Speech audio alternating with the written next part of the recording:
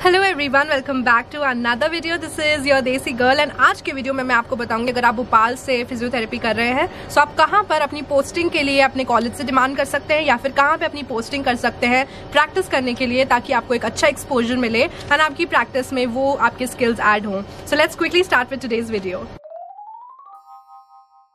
so if you are doing your physiotherapy course from Bhopal तो फिर आप लोगों को क्या चीज़ों को uh, देखना देखिए अगर आपने कॉलेज अपना ले लिया है अब कॉलेज का इन्वायरमेंट अब आपको धीरे धीरे पता चल रहा है कैसा है। आप लोगों को हो सकता है प्रैक्टिस करने के लिए प्रॉपर माहौल ना मिले। एंड यू आर क्लूलेस क्योंकि आपकी क्लासेस भी नहीं रन हो रही हैं एंड आपको प्रैक्टिस के लिए पेशेंट्स भी नहीं मिल रहे हैं। So if this is the case what you can do is you can go for observationship in different clinics ताकि आप वहाँ पर्सनली जो प्राइवेट क्लिनिक्स होते हैं फिजियोथेरेपी के, वहाँ जाकर आप उनसे अप्रोच कर सकते हैं कि हमको आपके अंडर ऑब्जर्वेशनशिप करनी है। You can go and work under them and आप उनके स्किल्स लर्न कर सकते हैं। But you have to keep in mind कि वो सिर्फ़ मशीन मशीन मशीन ना सिखाएँ। यहाँ पे डिसीज़न आपको लेना पड़ेगा कि कैसे आप एक अच्छे एनवायरमेंट को अपने लिए चूज़ कर सकते हैं। ये तो बात हो गई क्लिनिकल एक्सपोजर की बट अगर आपके पास पोस्टिंग के ऑप्शन होते हैं कि आप दूसरे हॉस्पिटल में जाकर अप्रोच करें वहाँ पर सो आप थर्ड या फोर्थ ईयर में पोस्टिंग्स के लिए अप्लाई कर सकते हैं और वहाँ जाकर अपनी प्रैक्टिस कर सकते हैं। ये इसके लिए आप अपने कॉलेज वालों को भी बोल सकते हैं कि आप हमारी पोस्टिंग लगाएँ।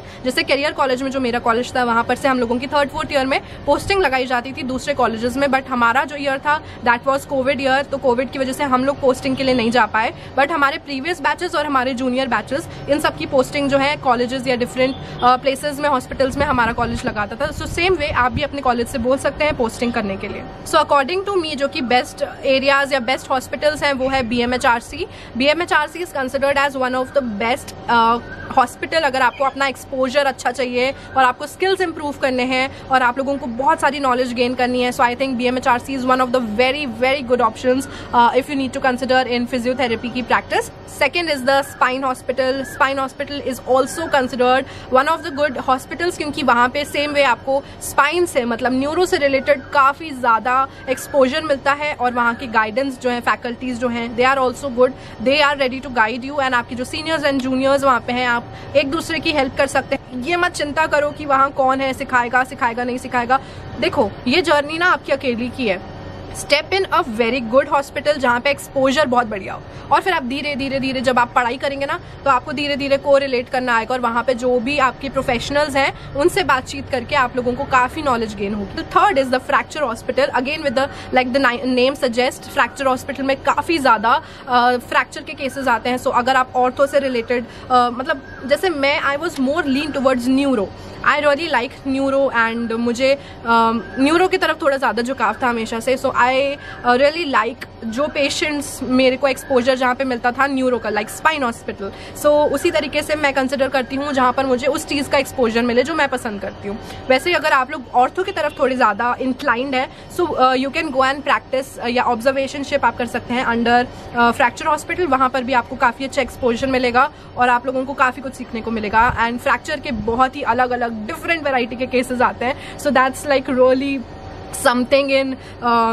जो मज़ा आ जाती है ना एकदम एकदम पेशेंट्स इतने सारी वैरायटी रहती है अलग अलग अलग अलग फ्रैक्चर्स के। अच्छे से पढ़ के जाना जो भी टॉपिक के आप हॉस्पिटल जा रहे हो या फिर जहाँ पर भी आप जिस हॉस्पिटल में जा रहे हो बेसिकली आपको पढ़ के जाना ही पड़ेगा। कौन से वार्ड में आपकी पोस्टिंग है ये भी बहुत ज़रूरी है। सो so, अगर आप भोपाल में हैं and you are going to the fracture this is also considered as a good option to choose so the next college that you can hospital या college that you can consider is Khushi Lal hospital सो आप वहाँ पे भी consider कर सकते हैं work करना। Again exposure is really good you can really grasp a lot of knowledge from there and experience भी काफ़ी, क्योंकि जितने ज़्यादा पेशेंट्स आते हैं, उतने ज़्यादा केसेस देखने को मिलते हैं और प्रैक्टिस भी उतनी अच्छी होती है। So yes you can consider this as well so मैं अपना एक एक्सपीरियंस बताऊँगी कि मेरे एक्सपीरियंस नहीं, एक बात शेयर करूँगी कि मेरी एक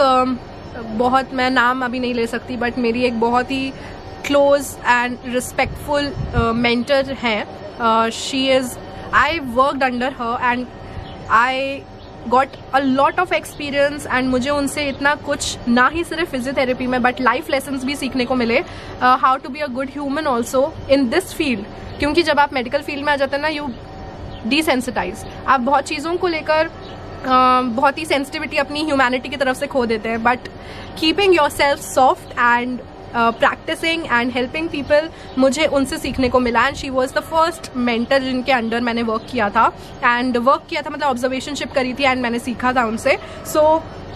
um, उनने मुझे हमेशा ये चीज़ बोली थी कि always keep a diary with you and उस डायरी में आप अपनी सारी चीज़ों को नोट डाउन करें जो भी आप सीखते हैं बिकॉज़ आज से कितने साल बाद you will not be remembering जो आज आप केस देख रहे हैं। So I use to do that क्योंकि एट पॉइंट एट प्रेजेंट अगर आप uh, किसी चीज़ के नोट्स बना लेते हैं ना शॉर्ट में भी तो भी वो आपको ईजी पड़ता है रादर देन आप अगर उसको रिमेंबर करना चाहें आज से दो तीन साल बाद भी सो दैट विल भी डिफ़िकल्ट सो मेरी वो जो रिस्पेक्टेड मेंटर है मैंने उनकी ये बात हमेशा अपने दिमाग में रखी and it was really helpful for me आज भी वो डायरी मेरे पास है एंड आज भी मैं मेंटेन करती हूँ। हर वो चीज़ जो मुझे हर मेरे एक नए पेशेंट से सीखने को मिलती है, उनका क्या केस है, मैंने क्या एक्सरसाइज करवाई है। So I still consider and write everything so thankful to you ma'am and